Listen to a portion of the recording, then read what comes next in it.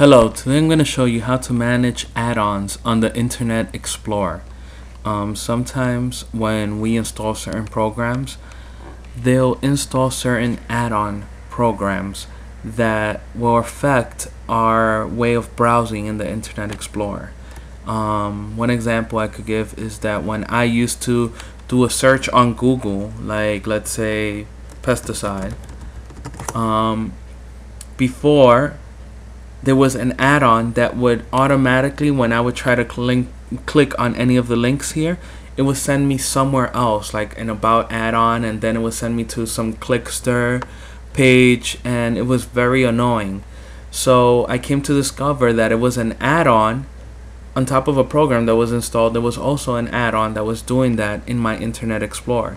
So by add-on like I said it's a program that when you install something else it's added on with it. For you to disable these types of programs, you have to go right here in the corner to Tools or Settings, and you're going to manage add-ons.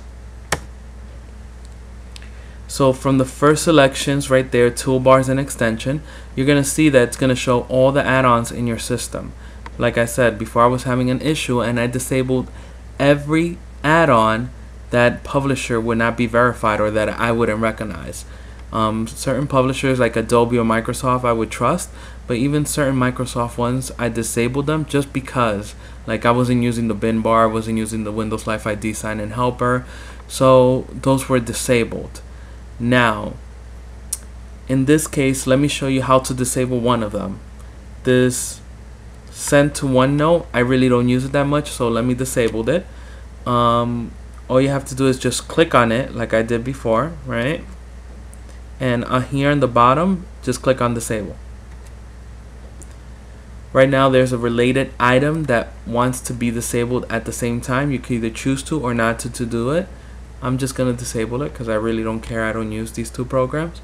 Um, and that's it. In case you see that when you disable it you caused some type of issue running on your Internet Explorer then all you have to do is just enable it again it's the same method. You would, once you would close, go back to your tools or settings and manage add-ons and just re-enable them.